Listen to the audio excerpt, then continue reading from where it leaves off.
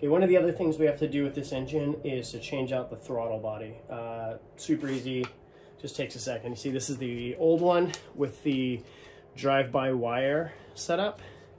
And we're replacing it with this one here, which has the more traditional, like the Land Rover, has the drive-by cable setup.